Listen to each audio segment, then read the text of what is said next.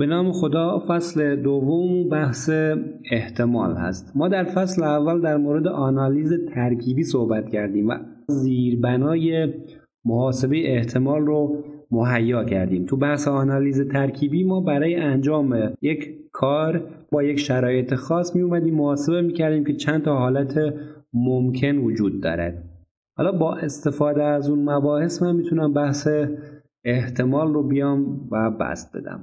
خب تو زندگی روزمره ما با بحث احتمال ارتباط داشتیم و به صورت حالا نامحسوس از احتمال استفاده کردیم. مثلا به عنوان مثال شما در یک آزمون با مثلا 20 تا سوال شرکت می‌کنید و هر سوال هم مثلا یک امتیاز داشته باشه 20 امتیاز در صورتی که مثلا شما 10 تا از این سوالات رو مطمئن باشید که درست جواب دادید میگید من 50 درصد نمره رو خواهم گرفت. یا بگیم که با احتمال خیلی بالایی من در این آزمون نمره قبولی رو کالا مثلا نمره 10 باشه رو کسب می‌کنم. از بحث احتمال اومدیم استفاده کردیم و نحوه این محاسبه این احتمال هم با یک سری مفاهیم در بحثی که در پیش رو داریم کاملا ارتباط دارد. یک مفهوم داریم بحث آزمایش تصادفی. آزمایش تصادفی به چی میگن؟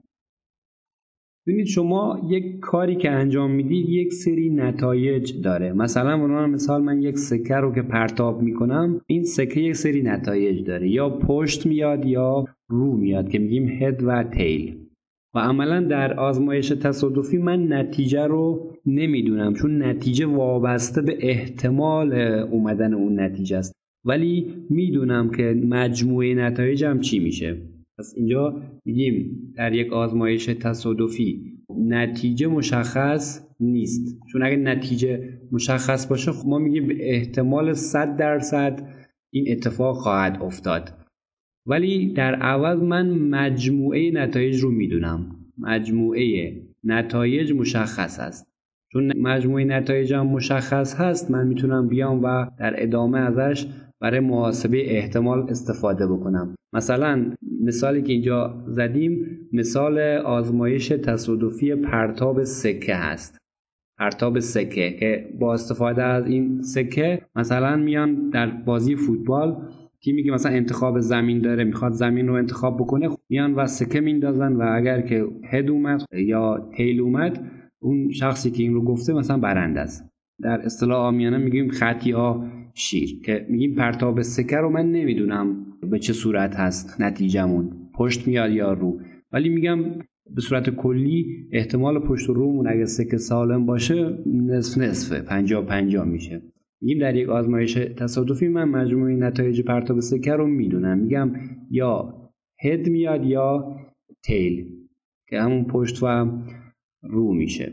یا اینکه موقعی که یک تاس رو میان پرتاب می‌کنم تاس 6 تا وجه داره. اعداد یک تا 6 روش قرار دارن و من نمی‌دونم کدومی که از اینها میاد. ولی مجموعه نتایج هم مشخصه. پس میگیم تو پرتاب تاس مجموعه نتایجمون به این صورت میشه. میشه یک دو سه چهار پنج و شیش مفهوم دیگه ای که روی این می‌تونم تعریف کنم فضای نمونه و پیش آمد هست.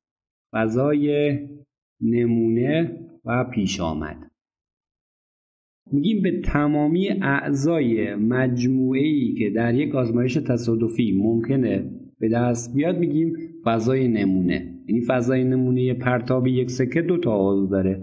فضای نمونه پرتاب یک دونه تاس 6 تا عضو داره و به زیر مجموعه ای از اینها میگیم پیش آمد. مثلا به عنوان مثال میگیم یک تاس رو پرتاب می‌کنیم پیش آمد این که اعداد زوج بیاد. پس زیر مجموعه این میشه دو، چهار و 6 این میشه پیش آمد اومدن اعداد زوج. یا پیش آمد اومدن مثلا اعداد ضریب سه یا اعداد فرد یا اعداد اول. اینها همه پیش های مختلفی از پرتاب یک تاس هستند. پس اینجا میگیم مجموعه نتایج مجموعه نتایج آزمایش تصادفی این میشه فضای نمونه که ما به فضای نمونه خیلی کار داریم در ادامه و زیر مجموعه فضای نمونه هم میشه پیش آمد و میگیم زیر مجموعه ای از فضای نمونه که این زیر مجموعه از فضای نمونهمون یک اسم داره. مثلا همون مثالی که زدم گفتم که خب مجموعه اعداد مثلا زوج پیش آمد اعداد زوج این در واقع میشه یک پیش آمد که زیر مجموعی از فضای نمونه هست. مثالش هم به این شکل می‌تونم اینجا بیام بنویسم بگم که پیش آمد اعداد زوج در پرتاب تاس. این شکل میشه. چه دو چهار و شیش حالا اگر بخوایم بیایم و اشتراک اجتماع یا هر دستور جبر مجموعی روی اینها محاسبه بکنیم خیلی راحت از جبر مجموعه میشه استفاده کرد. من باید اینجا بیام یک مقدمه بر جبر مجموعه ها داشته باشم. اگر که A مثلا به عنوان مثال پیش آمده زوج بودن باشد و B پیش آمده مثلا ضریب سه بودن باشه در پرتاب تاز ممکنه من بخوام یک پیش آمدی به دست بیارم که اون اعداد زوجی که ضریب سه هستند رو برای من بیاد و مشخص بکنه. پس اینجا میگیم که میشه اشتراک اینها. یعنی باید بیام از A اشتراک B استفاده بکنم. خیلی راحت میشه این رو به دست آورد و اینکه بیام اعضای مجموعی رو به دست بیارم که هم زوج یا زوج باشن یا ضریب سه باشند. پس اینجا این هم زوج و هم ضریب سه. یعنی عملا اعدادی رو بهم میده که زوج ضریب سه هستند. و A اجتماع B میگیم اعدادی میشه که یا زوج باشن یا ضریب سه باشن. پس اینجا میگیم زوج یا ضریب سه. اینها رو به من میده. که اینها رو به راحتی با استفاده از جبر مجموعه ما می‌تونیم بیایم به دست بیاریم. دو تا پیش آمد ناسازگار. میگیم دو تا پیش آمد ناسازگار دو تا پیش آمد هستند که اشتراکشون برابر با توهی باشد پیش آمدهای ناسازگار. یعنی کاملا با هم مخالف باشن دیگه. مثلا فرض کن من میگم که پیش آمد A پیش آمد اومدن زوج در پرتاب تاس باشد. پیش آمد آمدن زوج در تاس. و پیش آمد B پیش آمد اومدن فرد در تاس باشه. اینها کاملا با هم در تضاد هستند و میگیم که دو تا پیش آمد ناسازگار هستند یعنی عملا از اینجا می‌تونم بگم که A اشتراک B برابر با توهی هست. که معمولا این رو با AB نشون میدن. یعنی به این فرم هم نشون میدیم که میگیم AB برابر با توهی هست. نکته دیگه ای که هست متمم یک پیش آمد هست که در جبر مجموعه ها این خیلی واضح و مشخصه. متمم یک پیش آمد متمم یک پیش آمد رو به چه صورت من می‌تونم بیام؟ تعریف کنم ما میگیم از فضای نمونه است. یعنی اگر یک آزمایش تصادفی من انجام بدم تمامی حالتهای ممکن در مجموعه فضای نمونه قرار می‌گیرد. و این همون مجموعه مادر میشه در جبر مجموعه ها حالا اگر بیام A رو تعریف کنم بگم که پیش آمد اعداد زوج مثلا. پیش آمد اعداد زوج. اون موقع می‌تونم بگم که A پریم برابر میشه با هر چیزی که در S قرار دارد و در داخل A قرار نداشته باشد. یعنی اسم منهای A میشه. اینو بهش میگیم متمم. پس میگم این برابر میشه با اسم منهای A. این یعنی چی؟ یعنی بیام از مجموعه S اشتراکاش رو کم بکنم. پس اینجا A پریم میشه اعداد فرد دیگه. چون در پرتاب یک تاس اسمون برابر با یک دو سه چهار پنج و 6 خواهد شد. پیش آمده ایمون گفتیم اعداد زوج باشه. برابر میشه با دو چهار و 6 حالا ای پریم قطعا اعداد فرد خواهد شد. یعنی سه و پنج و یک میشه به این صورت. پیش آمد دیگه ای که همین پیش آمد تفریق رو می‌خوام بیام بگم میگیم پیش آمد تفاضل. یعنی من می‌خوام تفاضل رو بیام به کمک متمم بگم.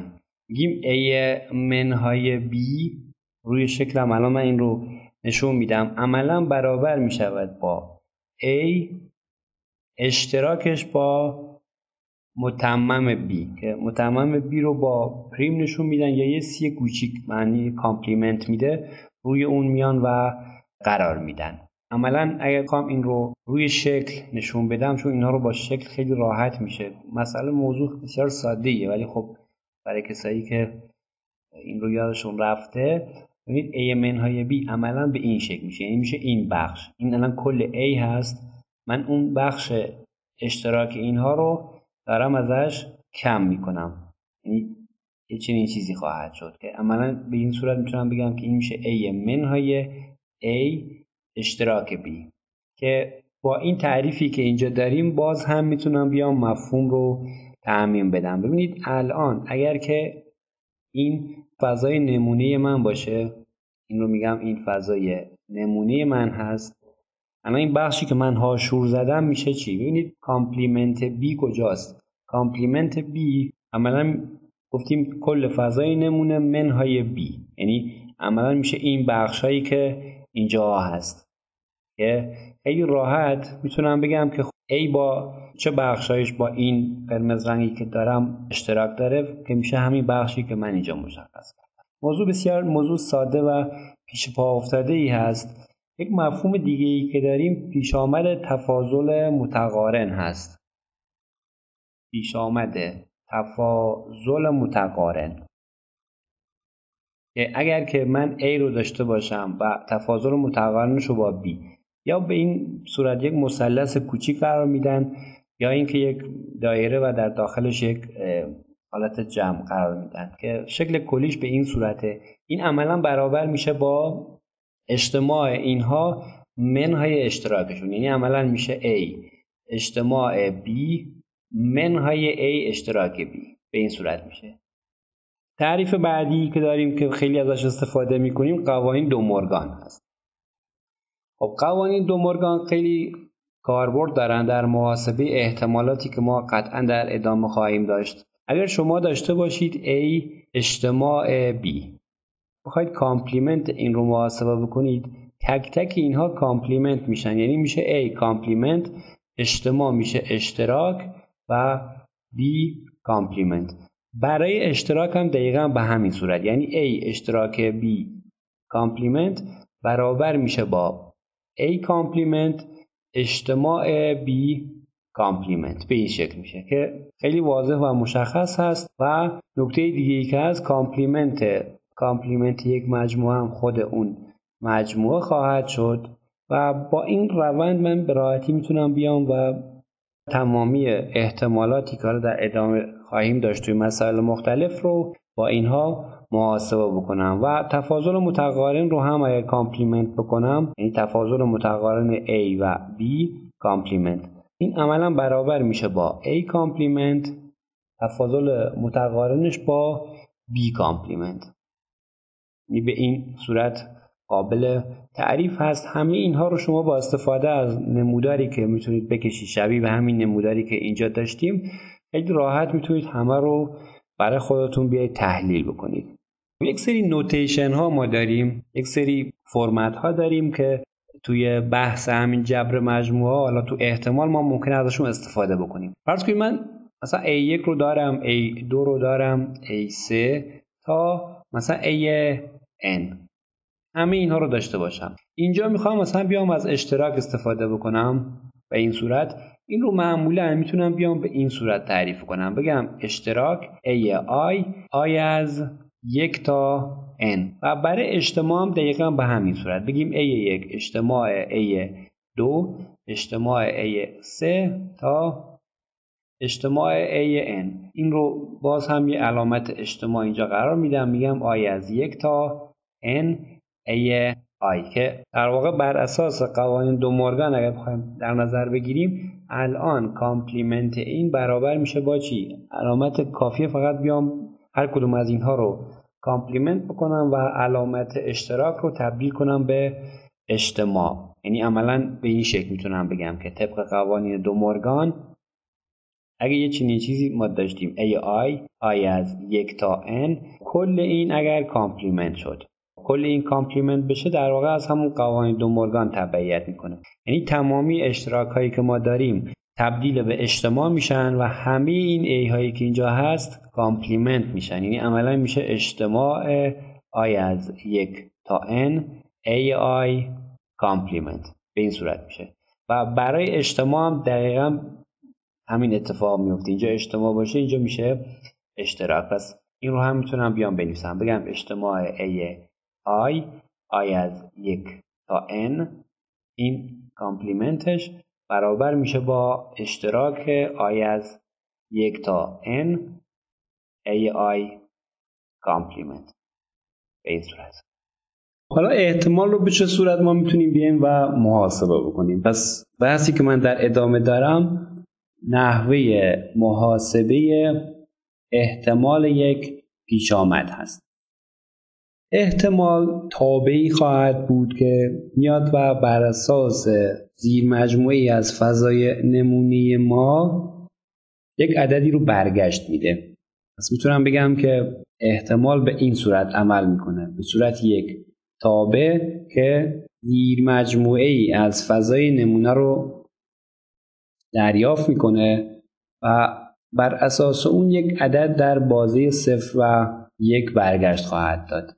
اگر اتفاق افتادن اون پیش آمد بعید باشد یک چیزی نزدیک به صفر به ما برگشت میده و اگر اتفاق افتادن اون پیش آمد قطعی باشه یک برامون برگشت میده و حالا عددی بین صفر و یک هم برای بعضی پیشامدها برامون برگشت میده. مثلا به عنوان مثال شما وقتی که یک سکه رو پرتاب می‌کنید میگیم که احتمال این که خط بیاد. این برابر با یک دوم میشه. احتمال این که شیر بیاد. برابر با یک دوم میشه. یک تاس رو پرتاب می‌کنیم میگیم احتمال این که مثلا چهار بیاد. میشه در واقع یک شیشم چون شیش تا حالت مختلف من دارم و یکی از اینها رو پیش آمد من یکی از اینها هست. حالا به چه صورت من این رو اومدم محاسبه کردم؟ میگیم احتمال وقوع یک پیش آمد بر اساس فراهانی نسبی ما می‌تونیم اون رو محاسبه بکنیم پس میگیم محاسبه با فراوانی نسبی. این یعنی چی؟ یعنی این که فضای نمونه من اگر n تا حالت مختلف دارد این پیش آمده من چند تا از اون انتا رو شامل خواهد شد. یعنی عملا می‌تونم بگم که PA برابر می شود با NA یعنی تعداد اعضای مجموعه A مجموعه پیش آمدم تقسیم بر NS این میشه تعریف کلی که ما می‌تونیم برای احتمال داشته باشیم که عملا اینجا این عدد اگر تعداد اون دفعات انجام آزمایش ما به سمت بینایت میل بکند این مقدار هم به سمت اون مقدار به سمت اون چیزی که در واقعیت وجود دارد میل خواهد کرد و واقعی تر خواهد شد. مثلا به مثال من بیام صد هزار بار یک سکه رو پرتاب بکنم. من اگه یه بار پرتاب بکنم میگم احتمالش یک دومه. صد هزار بار پرتاب بکنم در صورتی که پنجاه هزار بار پشت بیاد پنجاه هزار بار رو بیاد اون موقع من دیگه با قطعیت تمام می‌تونم بگم که این سکه مثلا یک سکه سالم یا سکه فیر هست جوان مردان است جوابش. بر اساس این تعریفی که الان داشتیم گفتیم که احتمال یک تابعی که زیر مجموعه از فضای نمونه رو به صفر و یک می‌برد. می‌تونم بگم که قطعا P A یک عددی بین صفر و یک خواهد بود. مثلا به عنوان مثال در پرتاب یک تاس احتمال اومدن عدد زوج برابر با یک دوم میشه 50 درصد میشه. چرا؟ چون تمامی اعضای مجموعه فضای نمونه‌ی من 6 تا حالت مختلف خواهد بود. یک تا 6 و پیشامد من اومدن عدد زوجه یا دو بیاد یا چهار یا شیش که میشه سه. تقسیم بر شیش برابر با یک دوم میشه. و چیزی که بدیهی هست P S برابر با یکه. پی اس برابر با یکه. چون من وقتی که یک تاس رو پرتاب می‌کنم قطعا یکی از اون اعضای مجموعه فضای نمونه من خواهد اومد. یک تاس یک تا شیش میده. یک سکه رو پرتاب بکنم یا پشت میاد یا رو میاد. و قطعا خارج از اون اعضای مجموعه در واقع فضای نمونه من چیزی وجود نخواهد داشت. و احتمال مجموع پیش آمد هم میشه مجموع احتمال هامون یعنی این رو هم به این صورت می‌تونم بیام و تعریف کنم بگم که P با این notation اگه تعریف کنیم مثلا A I i از یک تا n. اینجا این برابر میشه با سیگما P A I یعنی به این شکل میشه. تا یک شرطی هم باید اینجا قرار بدیم. شرط اون این هست که برای هر دو تا عضو A I که دارم اشتراکشون برابر با تهی بشه. یعنی با این شرط این درست هست. اگر که این شرط رو نداشته باشم ما برمیگردیم به اون بحث اصل شمول و عدم شمول که تو فصل اول من اومدم اون رو معرفی کردم. پس اینجا میگیم A I اشتراک A J. این برابر با توهی هست که I و J خب یکسان نیستند با این شرط. در صورتی که اشتراک داشته باشن خب باید قطعا بیایم اون اشتراک رو حتما باید کم بکنیم. مثلا اگر اینجا من دوباره این رو توضیح بدم فرض کنید که اینجا مجموعه A باشه اینجا مجموعه B باشد مثلا اینجا دو تا عضو داشته باشم اینجا یه دونه عضو داشته باشم اینجا مثلا سه تا عضو داشته باشیم و NS مون هم مثلا برابر با 8 باشد حالا پی اجتماع این دوتا برابر با 3 تا میشه. اینجا مجموعه A هم سه تا عضو داره. مجموعه B من 4 تا عضو داره. به علاوه 4 هشتم که مجموعا میشه 7 هشتم که این درست نیست. چرا؟ چون اینجا این یک اشتراک بینشون. یعنی عملا باید این ازش چی بشه؟ کم بشه که من به جوابم برسم. که در واقع جواب من همون 6 هشتمه چون اجتماع این دوتا 6 تا عضو بیشتر ندارد. نکته دیگه ای که در محاسبه احتمال اهمیت بسیار بالایی دارد محاسبه احتمال complement هست. یعنی عملا میگم که P A complement این برابر با چی میشه به نظرتون؟ چون گفتیم که A اجتماع A complement این برابر با مجموعه S میشه که حالا مجموعه فضای نمونمون هست و عملا می‌تونم اینجا بگم که در نتیجه PA به علاوه PA complement مجموعشون برابر با یک میشه. از این می‌تونم بگم که PA complement میشه یک منهای PA یک منهای PA در محاسبه احتمال از این موضوع خیلی ما می‌تونیم استفاده بکنیم. در بعضی از مسائل شما به صورت مستقیم نمی‌تونید به احتمال رو محاسبه بکنید. پس مجبورید بیایید احتمال complement اون رو محاسبه بکنید. وقتی که complement رو محاسبه بکنم خب راحتی با محاسبه در واقع یک منهای complement می‌تونم به اون اصلی برگردم. یعنی عملا این هم صادقه دیگه. P A برابر است با یک منهای P A complement. که حالا مثال بارز این موضوع می‌تونه مثلا این باشه. فرض کنید که میگیم در پرتاب تاس در پرتاب مثلا دو تا تاس به صورت همزمان احتمال اینکه اعداد ظاهر شده برابر نباشند. می‌خوایم این رو محاسبه بکنیم. ببینید شما وقتی که دو تا تاس رو به صورت همزمان پرتاب می‌کنید چند تا حالت مختلف می‌تونه وجود بیاد؟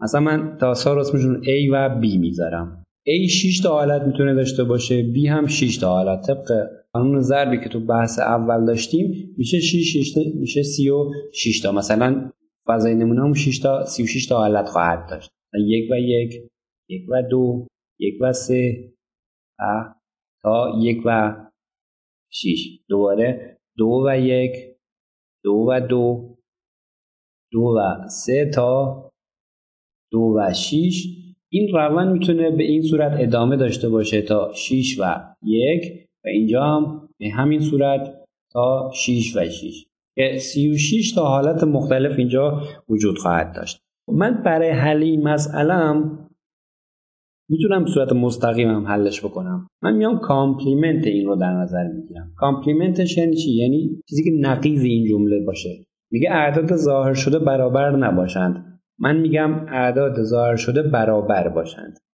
یعنی عملا اینجا میایم میگیم که A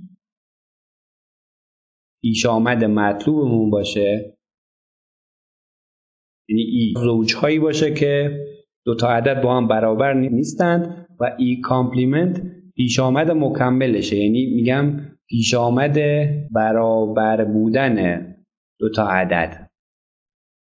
دو تا عدد در پرتاب دو تا تاس در چند حالت با هم برابرن؟ یک و یک دو و دو سه و سه چهار و چهار پنج و پنج شیش و شیش یعنی شیش تا حالت مختلف خواهیم داشت. یعنی از اینجا می‌تونم نتیجه بگیرم که n A complement برابر با 6 هست.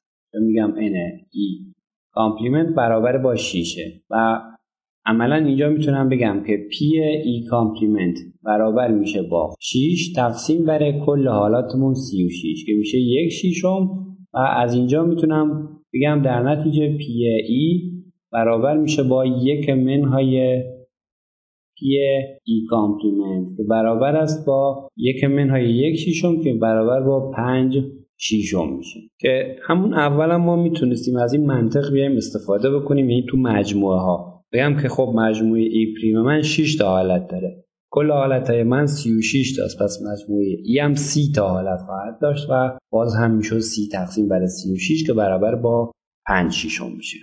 حالا برای اجتماع و اشتراک دوتا مجموع می‌تونیم کران بالا و کران پایین به دست بیاریم. خب چیزی که اینجا واضح و مشخص هست از جبر مجموعه ها من می‌تونم مثلا به عنوان مثال شما اگر در نظر بگیرید اشتراک. مثلا اینجا A دارم اینجا B دارم. اشتراک A و B میشه این نقطه. حالا بدیهی و واضح هست که اشتراک A و B از A و B کوچیکتره. یعنی اینجا می‌تونیم بگیم که خب A اشتراک B کوچیکتر مساوی A هست و A اشتراک B کوچیکتر مساوی B هست. واضح و مشخص هست. حالا چون این دوتا مجموعه تعداد اعضاشون اعضای A اشتراکی B از تعداد اعضای A کوچیکتره و A اشتراکی B از B هم کوچیکتره خب احتمال اینها هم کوچیکتر میشه دیگه عملا. یعنی از اینجا می‌تونم بگم که در نتیجه P A اشتراک B کوچیکتر مساوی P A میشه. کاملا بدیهی و واضح هست و برای اینم دقیقا به همین صورت. می‌تونم بگم که P A اشتراک B کوچکتر مساوی P B میشه. چون P A اشتراک B از هر دو تا اینا کوچکتره می‌تونم نتیجه بگیرم که از کوچکتر مقدار بین این دوتا هم کوچکتر خواهد بود. و این عملا نتیجه نهایی من میشه که میشه یک کران بالا برای P A اشتراک B. یعنی می‌تونم بگم که همواره P A اشتراک B که A و B دو تا پیش آمد هستند همواره این کوچکتر مساوی مینیموم P A و P B خواهد بود. این کوچکتر مساوی مینیموم P A و P B هست. حالا اگر که شما n تا پیش آمد هم داشته باشید خب این برقراره. یعنی مثلا به این صورت بیام بگم که خب نتیجه کلی میشه P به این فرمت بیام بنویسم. مثلا بگم A I I از یک تا n.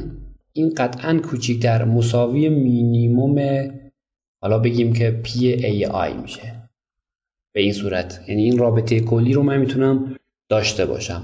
برای اجتماع هم به همین روش ما می‌تونیم بگیم که اجتماع دوتا مجموعه قطعا از هر دوتا اون مجموعه ها بزرگتر یا مساوی هست. یعنی می‌تونم بگم که خب P A اجتماع B قطعا اجتماع B قطعا بزرگتر از P A و P B خواهد بود. یعنی عملا اینجا میگیم پس این بزرگتر مساوی P A و P A اجتماع B بزرگتر مساوی P B خواهد بود.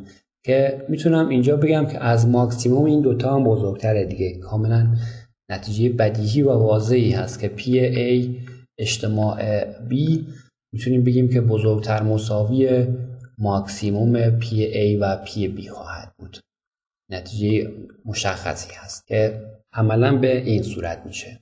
ما برای اشتراک اینجا یک کران بالا مشخص کردیم گفتیم P A اشتراک B کوچکتر از مینیموم این هست من می‌تونم بیام و یک نامساوی دیگه تحت عنوان نامساوی بونفرونی بنویسم که توی این نامساوی ما می‌تونیم یک کران پایین بیایم برای اشتراک به دست بیاریم. اگه یادتون باشه ما گفتیم که P A اجتماع B خب این برابر میشه با P A به علاوه P B منهای اشتراک این دوتا. در صورتی که اشتراکشون تهی نباشد. منهای P A اشتراک B. واضح و مشخصه که هر احتمال کوچکتر مساوی یک خواهد بود. یعنی عملا می‌تونم بگم که خب اینجا اجتماع B کوچکتر مساوی یکه و از این دوتا می‌تونیم این نتیجه رو داشته باشیم که P A به علاوه P B منهای یک کوچکتر مساوی P A اشتراک B میشه. پس میگیم اینجا P A اشتراک B بزرگتر مساوی P A به علاوه P B منهای یک خواهد بود. یعنی من اومدم اینجا یک کران پایین برای اشتراک B به دست آوردم و از مجموعه اینها ما می‌تونیم بگیم که کران بالا و کران پایین PA اشتراک B مشخص شده. PA اشتراک B گفتیم کوچکتر مساوی مینیموم PA و PB خواهد بود و بزرگتر مساوی PA به علاوه PB منهای یک خواهد بود. این رو هم می نویسیم PA به علاوه PB منهای یک. یعنی اینجا به راحتی من می‌تونم بیام و حد بالا و حد پایین اشتراک B رو به دست بیارم.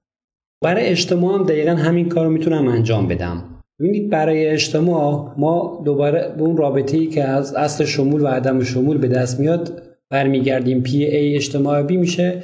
P A به علاوه P B منهای P A اشتراک B حالا اگر که من اشتراک رو بیام اینجا بردارم حذف کنم عملا می‌تونیم بگیم که P A اجتماع B کوچکتر مساوی این میشه. یعنی عملا از این می‌تونم این نتیجه رو به صورت مستقیم بگیرم که P A اجتماع B کوچکتر مساویه در صورتی که این برابر با صفر باشه اینا با هم مساوی میشن.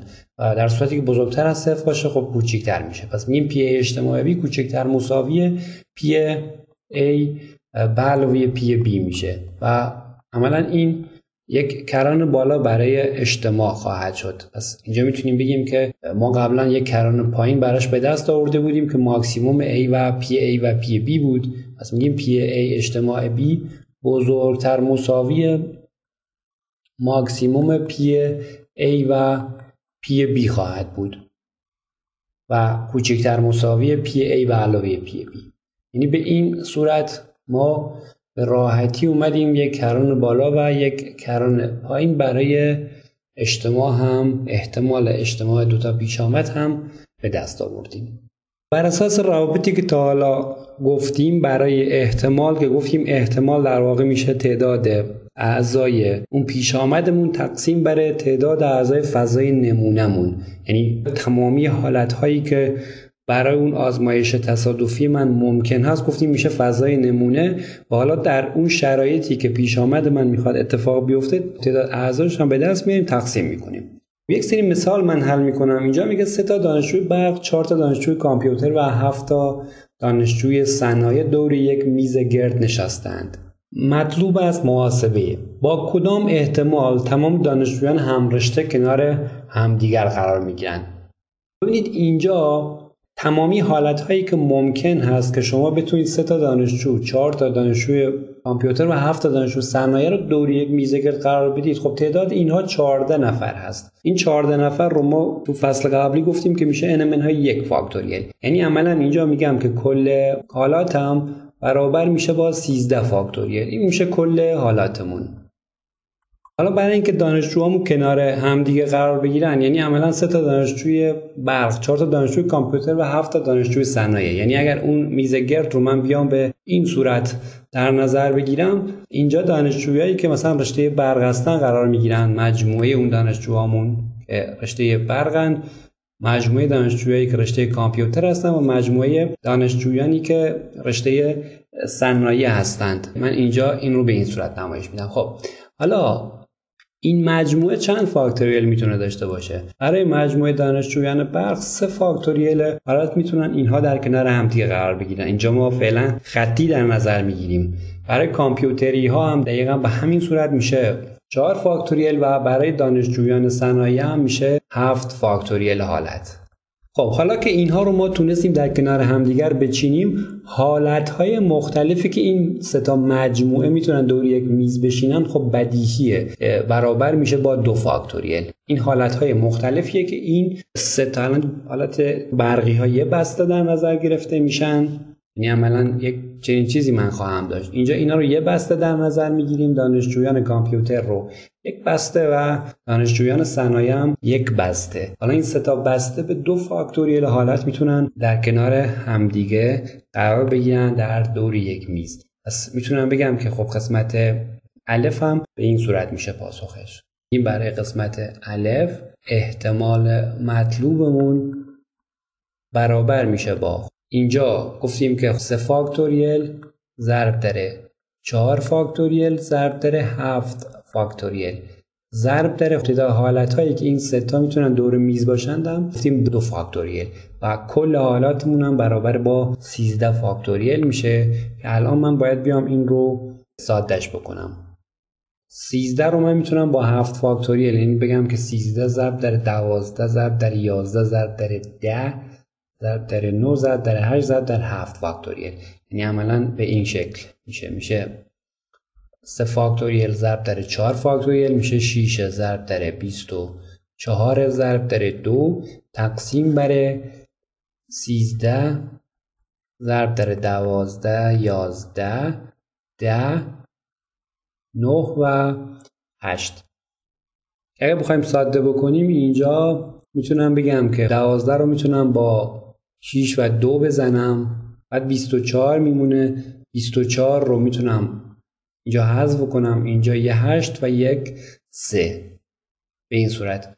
که اگه این رو ما محاسبه بکنیم عملا 13 ضرب در 11 ضرب در 10 ضرب در 3 میشه 330 اینجا 11 ضرب در 30 میشه که برابر با 330 میشه.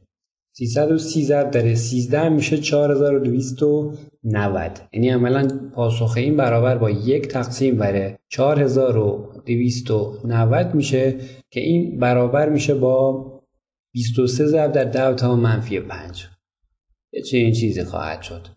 یعنی احتمال اینکه دانشجویان هم رشته در کنار همدیگه قرار بگیرن میشه 23 ضرب در 10 توان منفی 5 قسمت به سوال میگه با کدام احتمال هیچ دو دانشجوی از رشته صنایع کنار هم قرار نمی‌گیرند؟ منظور اینه که اینجا قرار نمی‌گیرند. اگر که هیچ دوتا دانشجوی از رشته صنایع کنار هم دیگه قرار نگیرند باید این اتفاق بیفته. ببینید باید هفت دانشجویی که من از رشته کامپیوتر و برق دارم اینها رو بیام دور میز قرار بدم. وقتی که اینها رو دور میز قرار دادم حالا این هفت دانشجو رشته صنایع رو بین اینها بیام و بچینم. یعنی عملا برای قسمت ب باید این اقدام رو بیایم انجام بدیم که اگر که من میز گرد رو به این شکل بیام نمایش بدم دانشجویایی که برای رشته برق و برای رشته کامپیوتر هستند رو ما اینجا قرار بدیم. فرض کنید این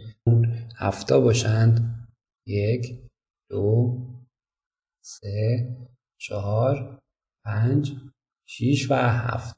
ببینید بین اینها هفت تا فضای خالی وجود خواهد داشت که من در این فضای خالی می‌تونم بیام دانشجوی رشته صنایع رو قرار بدم. مثلا دانشجوی اول دانشجوی دوم دانشجوی سوم چهارم پنجم و ششم و هفتم. به این صورت. که عملا این معادل این میشه که من بیام و ابتدا اون هفتا رو قرار بدم.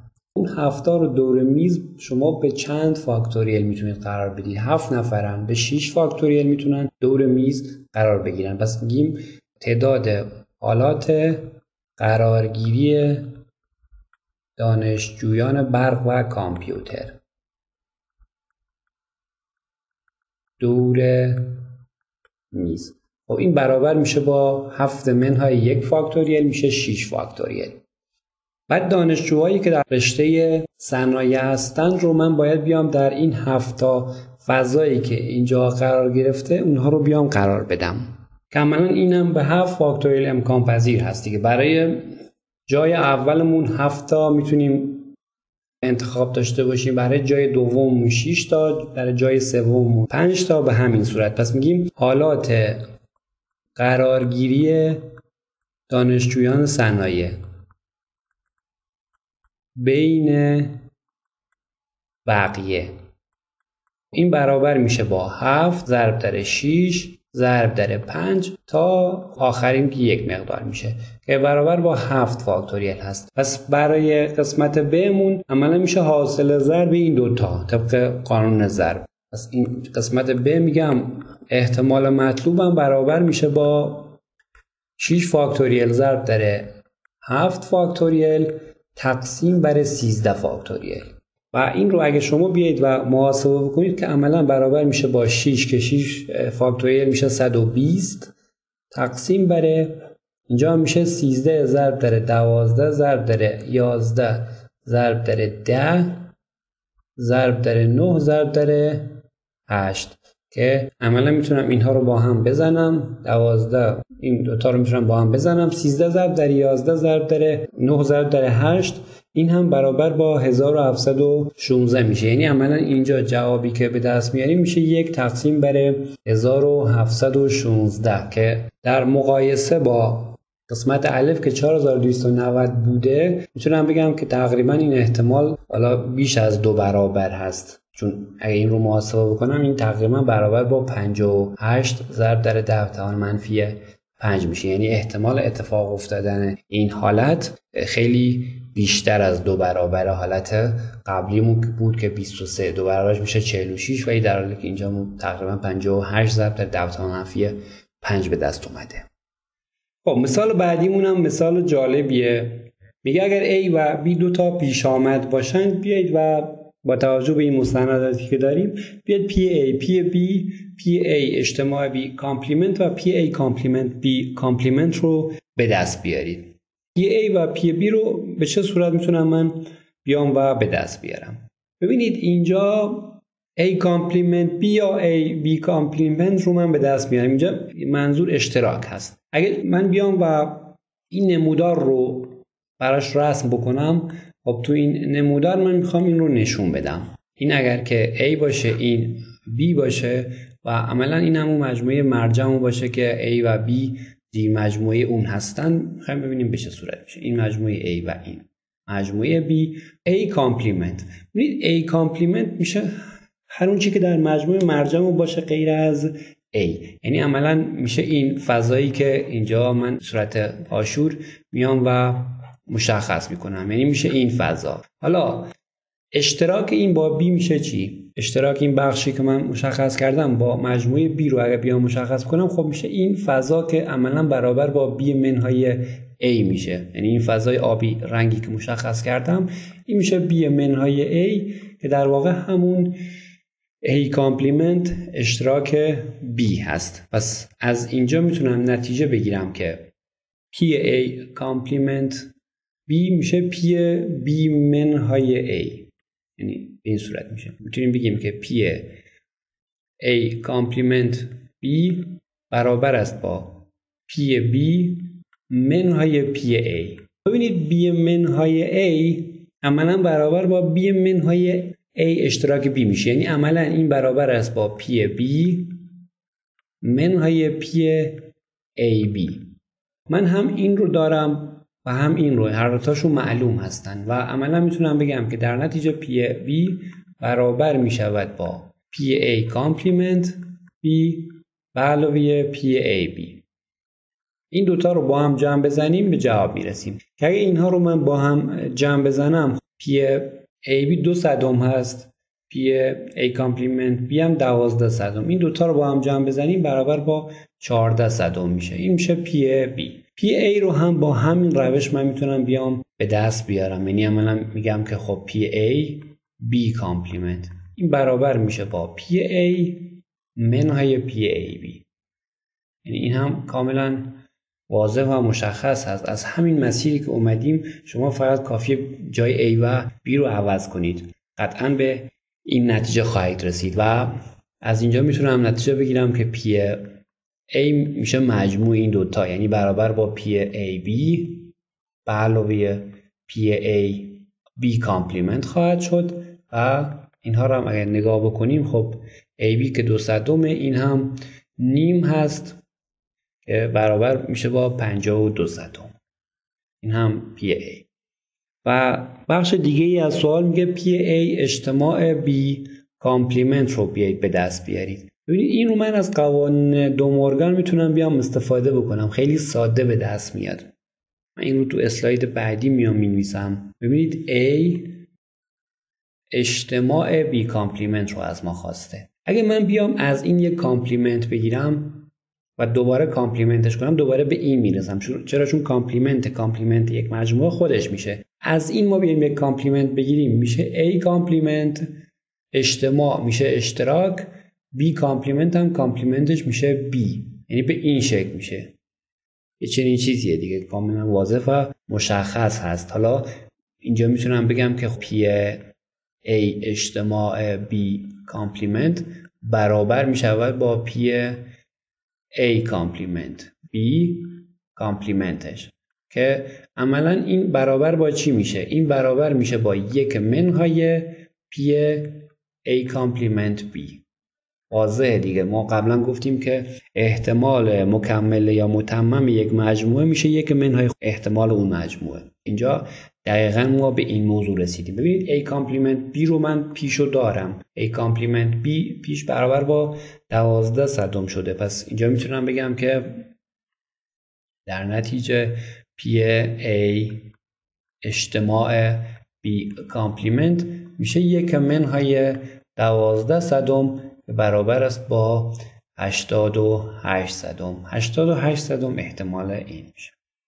قسمت بعدی سوالمون میگه P A complement B complement رو به دست بیارید. اینم به راحتی قابل محاسبه است. ببینید اینجا باز هم میام از قوانین دو مورگان استفاده می‌کنم. A complement B complement. این بدیهیه که برابر میشه با A. اجتماع B complement.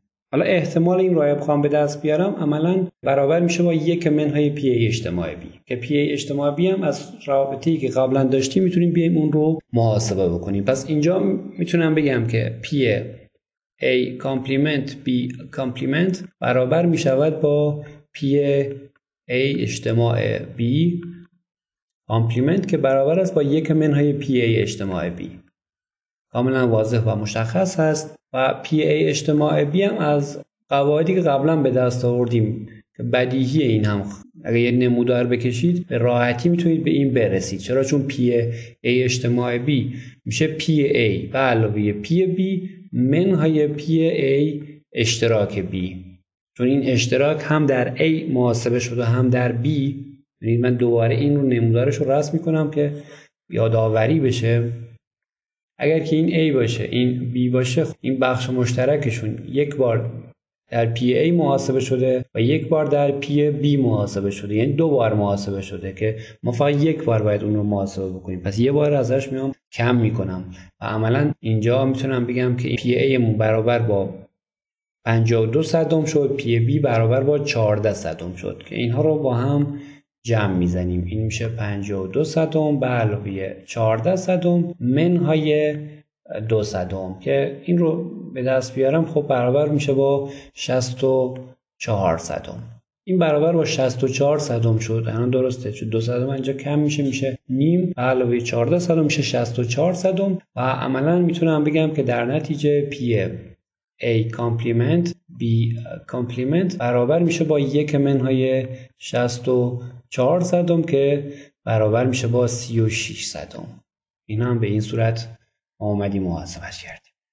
مثال بعدیمون مثال خیلی زیبایی هست و نکات خیلی زیادی در این مثال وجود دارد که ما باید وابسته مطالبی هست در فصل گذشته تو بحث آنالیز ترکیبی ما داشتیم. میگه هفت تا گلوله متمایز رو در پنج تا کیسه متمایز قرار میدیم به طوری که در هر کیسه حداقل یک گلوله قرار بگیره یعنی عملا کیسه هامون پنج تاش قطعا باید هر کدوم یک گلوله قرار بگیره. حالا دو تا گلوله که باقی میمونه به یک ترتیبی بین کیسه هامون باید تقسیم بشه. یا اینکه هر تاش در یک کیسه قرار می‌گیره یا اون هر دو تا گلوله که باقی مونده هر کدوم در یک کیسه از اون پنج تا کیسه ای که داریم قرار می‌گیره. میگه با کدام احتمال در دو کیسه دو تا گلوله قرار خواهد گرفت؟ ببینید در این سوال کل حالات من به چه صورت میشه؟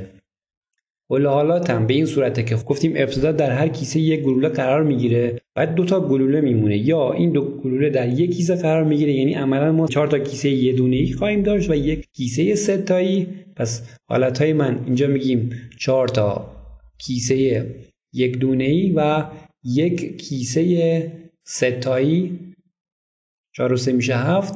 یا اینکه من اینجا دو تا کیسه دوتایی خواهم داشت و سه تا کیسه یک دونه ای از کل حالات هم میشه این دوتا. حالا حالتی که من باید به دست بیارم یعنی فضای نمونه من میشه این ها دیگه. چون میگه با کدام احتمال در دو کیسه دوتا گلوله قرار خواهد گرفت. پس کل حالت هم رو به راحتی می‌تونم به دست بیارم از دو تا روش. چون برای احتمال من باید کل حالت ها رو داشته باشم. من هر دو تا روش رو توضیح میدم اینجا. روش اولمون خیلی روش سرراست و مستقیمی هست. ما گفتیم که اگر شما n تا شیء متمایز داشته باشید و اون رو بخواید در آر تا کیسه متمایز قرار بدید به قسمی که بدونم که این تقسیمم به چه صورت هست. مثلا الان اینجا می‌دونم که چهار تا کیسه یه دونه ای دارم و یک کیسه ستایی. به راحتی می‌تونم عمل تقسیم رو انجام بدم. تقسیمم به چه صورت است؟ تقسیمم به این صورته که من اون کیسه ای که یا کیسه هایی که فرق دارن با بقیه. حالا مثلا یه دونه کیسه ستایی دارم. باید این کیسه انتخاب بشه. یعنی از بین پنج تا من میام این یه دونه رو انتخاب می‌کنم و حالا می‌تونم بیام عمل توزیع انتا شیء که به گروه های مختلفی تقسیم شدن رو بیام و بنویسم. یعنی عملا برای یک چهار تا کیسه یه دونه و یک کیسه ستایی می‌تونم بگم که تعداد حالات هم به این صورت میشه.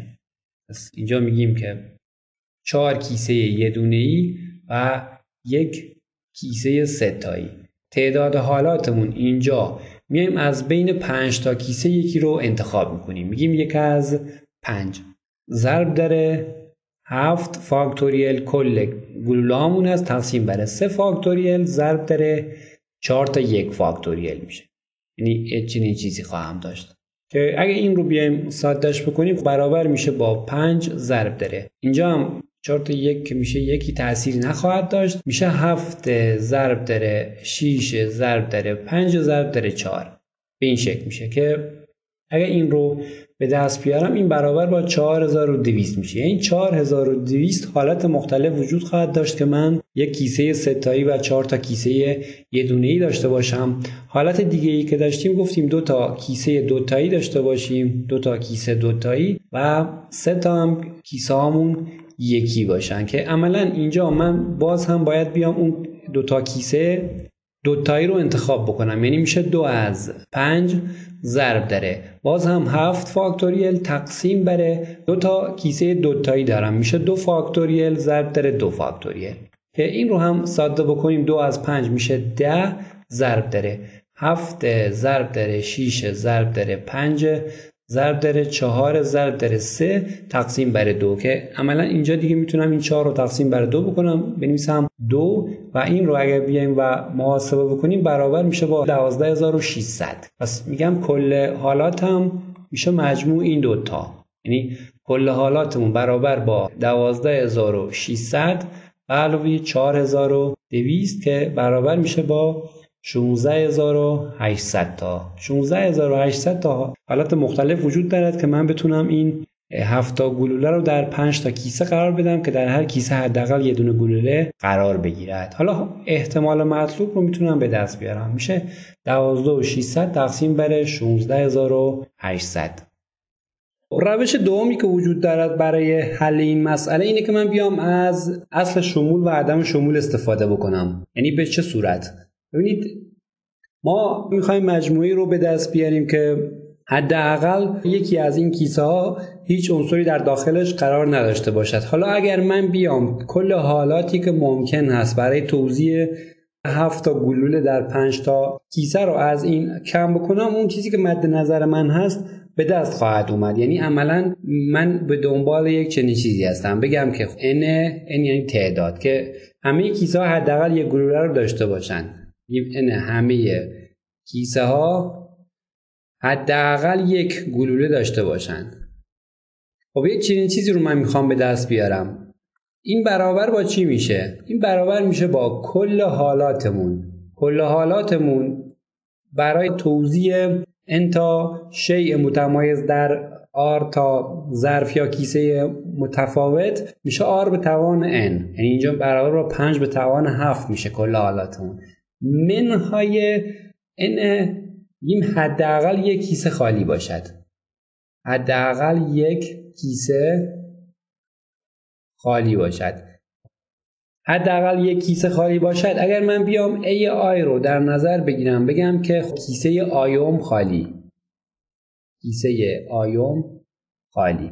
اینجا باید بیام و عملا این رو به دست بیارم. دیگه n سیگما ای آی آی از یک تا پنج. یعنی حداقل یکی از این شرایط برقرار باشه. ای یک A2, A3, A4 و A5 چون میگیم حداقل یکیش خب اجتماع است دیگه. یکی دو تا سه تا هر تعداد که بخوایم. حداقل معنی اجتماع رو خواهد داشت. که ما قبلا این رو توضیح دادیم که گفتیم که خب این سیگما به این صورت است. چون اینها در واقع ای ها هامون هم با هم برابر هستند. یعنی میگیم تعداد حالت هایی که کیسه اول خالی باشد. با تعداد حالت هایی که کیسه دوم فقط خالی باشد تا کیسه سوم چهارم و پنجم اینها هم با هم برابرند. پس اینجا می‌تونم بگم یک از پنج در n a1 منهای دو از پنج در n a1 اشتراک a2 یعنی به این صورت خواهد بود. برای این زوج هامون تعداد زوج منفی میشه برای فرد هامون مثبت میشه. به علاوه 3 از 5 در n. اینا رو دیگه به این صورت اشتراک می‌زنم. آی از یک تا 3 ای آی. منهای 4 از 5 در n اشتراک ای آی. از یک تا 4 و نهایتا میگم به علاوه 5 از 5 یک حالت پیش میاد دیگه هر 5 تا اشتراک بنویسیم. در n اشتراک آی از یک تا 5 ای آی کاملا این برابر با صفر میشه. هیچ حالتی وجود نخواهد داشت که تمامی کیسه های من خالی باشند. خیلی راحت این رو می‌تونم بیام و محاسبه بکنم. یعنی این روش الان روش کلیتری نسبت به روش اولمون. در صورتی که مسئله من شامل حالتهای مختلفی باشد شامل فقط دو تا حالت نشه خب محاسبه با روش اول خیلی سخت خواهد بود. ولی با روش دوم من خیلی راحت تر می‌تونم به جواب درست مسیر طولانی تره ولی خیلی راحت تر ما می‌تونیم اینجا به جواب برسیم. اینجا اگر این A1 رو من بیام به دست بیارم عملا مثل این که من هفت گلوله دارم در چهار تا کیسه بدون هیچ قید و شرطی می‌خوام اونها رو توضیح بکنم. پس میگیم اینجا NA1 برابر میشه با چهار به توان هفت. خیلی واضح و مشخص هست و NA1 اشتراک A2 یعنی من دو تا از کیسه های من خالی باشند حالا A1 و A2 به عنوان نماینده چون تعداد گفتیم با هم برابر هست. پس اینجا میگیم A1 اشتراک A2 عملا میشه اینکه من هفت تا گلوله داشته باشم تو سه تا کیسه بخوام اونها رو توضیح بکنم. اینجا میشه سه به توان هفت و این حالا اینا رو دیگه چون سه تاست دیگه خیلی سریع می‌خوام بنویسم. میگم آی از یک تا سه ای آی. یعنی سه تا. پس سه تا از کیسه هامون اگر خالی باشن دو تا کیسه میمونه و هفت تا مهره هفت تا گلوله. میشه دو به توان هفت. و برای چهارتاش هم به همین صورت. یعنی عملا مثل اینکه چهار تا از کیسه هامون خالی باشه. آی از یک تا چهار. ای آی که این بدیهیه دیگه. میگیم میشه یک حالت. میشه یک به توان هفت میشه یک حالت. و حالتی که همه کیسه من خالی باشند وجود نخواهد داشت. یعنی اینجا می‌تونم بگم که این اشتراک روی ای آی آی از یک تا پنج این برابر با صفر میشه کاملا. واضح و مشخص هست. از اینها رو که الان من به دست آوردم حالا می‌تونم بیام و این رو محاسبه بکنم. میشه 5 تا 4 به توان 7 منهای 10 تا 3 به توان 7 به علاوه 10 تا 2 به توان 7 منهای 4 از 5 هم میشه 5 تا 1 به توان 7 به این صورت که می‌تونم بگم که در نتیجه دیگه من سریع جواب رو می n سیگما ای آی آی از یک تا پنج برابر خواهد بود با پنج تا چهار به توان هفت. منهای ده تا سه به توان هفت. علاوه چون اینجا هم میگیم که سه از پنج برابر با همون دو از پنج میشه میشه ده. میشه به ده تا دو به توان هفت. و منهای پنج تا یک. به این صورت خواهد شد. اینها رو من اگه با هم جمع بزنم جوابی که به دست خواهد اومد میشه 61325 برابر با 61325 میشه. کل حالاتمون میشه 78125 تا. یعنی 5 به توان 7 میشه این. پس اینجا میگیم که n هر کیسه حداقل یک مهره یا یک گلوله برابر می شود با 78125 منهای 61325 که این برابر میشه با 16800 یعنی همین چیزی که ما اینجا به دست آوردیم. اینجا دیگه احتمال مطلوب هم میشه. این حالتی که دو تا از کیسه هامون دوتایی یعنی 12600 تقسیم بر 16800 اینجا میگم احتمال مطلوب من برابر می‌شود با 12600 تقسیم بر 16800 این رو ما ساده بکنیم این برابر با 3 چهارم یا همون 75 صدم به دست میاد. یعنی 75 صدم حالاتمون در دو تا از کیسه هامون دو تا مهره قرار خواهد گرفت. و در 25 صدم حالات در یک کیسه سه تا گلوله قرار خواهد گرفت. مثال بعدیمون هم باز هم مثال جالبیه. میگه در کیسه 52 تا توپ از 4 تا رنگ به طور مساوی قرار گرفته. یعنی چی؟ یعنی 52 تقسیم بر 4 از هر رنگی 13 تا من حالا مهره یا توپ خواهم داشت که هر رنگ میگه با شماره 1 تا 13 مشخص شده. مثلا رنگ هامون فرض کنید بگیم قرمز مثلا سبز آبی و مثلا مشکی باشه. ما این چهار تا رنگ رو داریم. از هر کدوم از این رنگ ها من 13 تا توپ دارم که این توپ ها رو هم باز هم متمایز هستن. از یک تا 13 شماره گذاری شدن. میگه به صورت تصادفی 5 تا توپ بیرون می‌کشیم. احتمالات زیر را محاسبه بکنیم. قسمت الف میگه با کدام احتمال همه توپ ها یک رنگ نیستند و اعداد روی آنها در یک نگاه سعودی است. همه توپ هامو یک رنگ نباشن یعنی حداقل یه دوتا توپ وجود داشته باشد که رنگشون با هم فرق داشته باشه و اعداد روی اونها در یک نگاه سعودی است. یعنی اینکه من پنج تا توپی که همزمان دارم بیرون می‌کشم اگر پنج تا رو مثلا به صورت خطی در داخل دستم قرار داده باشم اینها رو زمین بذارم. عددهایی که روی اینها باشد حالا مثلا از سمت چپ یا از سمت راست به صورت سعودی باشن. می‌خوام این احتمال رو بیایم و محاسبه بکنیم. خب ابتدا من می‌خوام تعداد حالت هایی رو به دست بیارم که عملا توپ های من یک رنگ نباشند. کل حالت هایی که من می‌تونم 5 تا توپ رو انتخاب بکنم از لحاظ رنگ به چه صورت میشه؟ ببینید برای توپ اول 4 تا حالت دارم. یعنی 4 تا رنگ مختلف وجود دارد برای توپ دوم. باز هم 4 تا تا توپ پنجم همه اینها در واقع 4 تا حالت مختلف خواهم داشت. و از لحاظ تنوع رنگی من می‌تونم بگم که چهار به توان پنج حالت مختلف برای انتخابم وجود خواهد داشت. از تو قسمت الفمون به این صورت می که تعداد حالات انتخاب از نظر رنگ.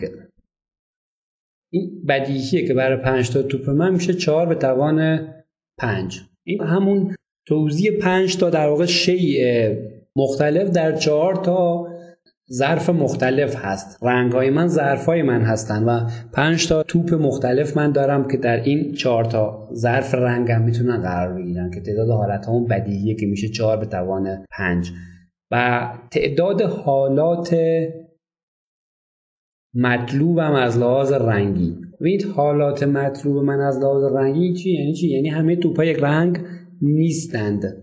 از اینجا تو پرانتز میگم همه توپ ها یک سان از لحاظ رنگ یکسان نباشند. خب. خب بدیهیه که میشه کل حالاتم منهای اون حالت هایی که تمامی توپای من یک رنگ باشن بدیهیه که میشه چهار حالت. توپای من به چهار حالت مختلف. همشون مثلا قرمز باشن همشون سبز باشن همشون آبی یا همشون مشکی باشن. که میشه چهار به توان پنج منهای چهار. این میشه از لحاظ تنوع رنگ خب حالا اگر برم در مورد بخش دوم صحبت بکنیم. اینکه اعداد روی اونها در یک نگاه سعودی باشد. ببینید تعداد کل حالت هایی که من اینجا وجود خواهد داشت برای اینکه قسمت الف من ارضا بشه میشه این حالت هایی که من به دست آوردم یعنی 4 به توان 5 منهای 4 ضرب در تعداد حالت هایی که اعداد روی اون پنج تا توپی که من انتخاب می‌کنم به صورت سعودی باشن. ما قبلا در مورد این موضوع تو فصل اول صحبت کردیم که به چه صورت ما می‌تونیم بیایم از حالا مثلا انتا عدد آرتا رو انتخاب بکنیم که ترتیبشون به صورت سعودی باشن. یعنی اون رابطه کوچیکتر بزرگتری بینشون برقرار باشد. پس اینجا من میام میگم که اگر که شماره ای که روی توپ های من قرار گرفتن مثلا A باشه B باشه C D و E. عملا باید A کوچکتر از B B کوچکتر از C و به این شکل. و اینها به این صورت باشن. و این هم خب بزرگتر مساوی یک و اینجا هم کوچکتر مساوی 13 باشد.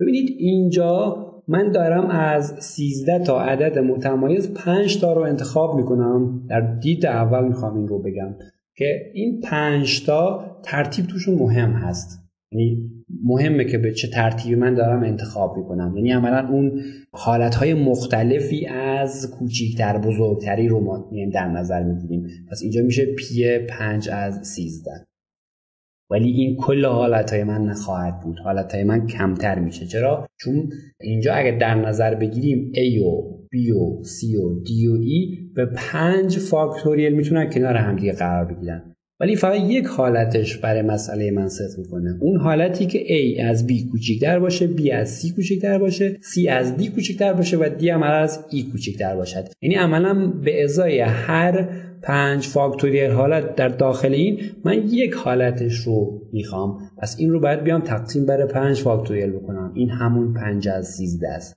یعنی میشه ترکیب پنج از سیزده که برابر است با سیزده فاکتوریل تقسیم بر هشت فاکتوریل ضرب در پنج فاکتوریل.